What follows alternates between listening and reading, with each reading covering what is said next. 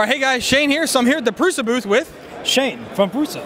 Oh, look at that! Hey, my doppelganger. there we go. So I, I wanted, like I said, uh, people talk so much about the, the Prusa and what's new, what's hot with it. You know, mm-hmm. it's it's the big topic. You know, it's the original. You know, and and Josef has put so much work into this.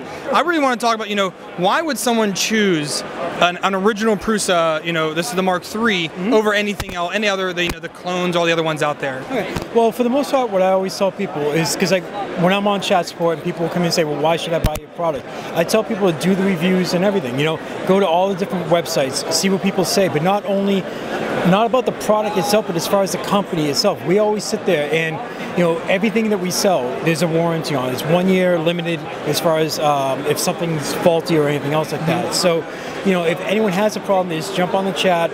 If it's a faulty problem, it's a faulty product, then we take care of it. And if it's even after that one year period, if you whatever problems you might have, we're still there to help. So I always tell people, uh, you know, check out the company itself, see what type of, of um, support they give after the purchase, see how much they stand by their product and everything, and then plus also, at least I can say, you know, for for uh, Prusa Research, we put a lot of time and resources into you know developing the next step and everything else, but also making sure that for the people who have the previous um, printers, they're able to upgrade it. So it's not like you know, sorry, you have to buy a whole new one. No, we have the kits there to, to, to, you know help out our previous customers get to the newer models and new versions. Yeah, and then I was looking at the price on the kits. Actually, they're really affordable if you already have one. You want to go to the new deal. You know, I mean, that's actually very affordable yeah. for, for what you're getting. Mm-hmm. You know, it really is. And I also think I really did like is that I always like I don't own one. You know, I'm actually currently saving, trying to get myself one. Yep. But um, I also people talk about like the firmware checks yep. all the time, and you guys are constantly upgrading oh, yeah. and, and, developing all the firmware. The time, all the time. Um, see now.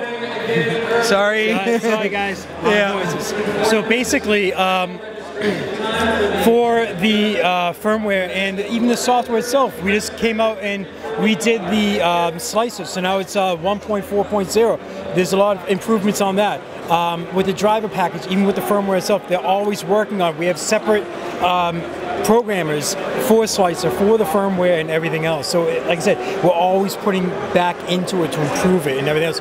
And you know, we even if we get something just right, if there's something else can be improved on, we're there, we're doing it. You know, and that's how we do it. Yeah, like I said, like I said, uh, you see all the all the real big channels. I mean, they all talk, they all praise Prusa so much for you know the company and all the different things that's going on. So it's really good to see, especially so this is the first annual uh, ERRF, yep. just say, and it's really good like to see you guys come out here and support you know a new initiative you know that we really want to get off the ground. Like, I'm excited for this because it's on the East Coast. It's you know closer to home for me when I'm here. Me too. So uh, it's pretty awesome. Where now where are you based out of? Well, I used to uh, live in the Czech Republic, so I worked for them. Okay. And then I decided to return home. So I'm from the Boston area, and I work for them remotely now. So I still do their uh, technical support. So from say 4:30 in the afternoon till 12:30 in the morning, I'm on chat. I'm offering. Uh, oh, so that's your shift? Yep, that's my shift, and um, I also go to the shows for them. And when Josef is available, he'll go to the shows as well and everything yep. else. So. All right. Well, uh, Shane, thank you for your time. Like I said, um, it's awesome to see this out here. So thank you so much. Very happy.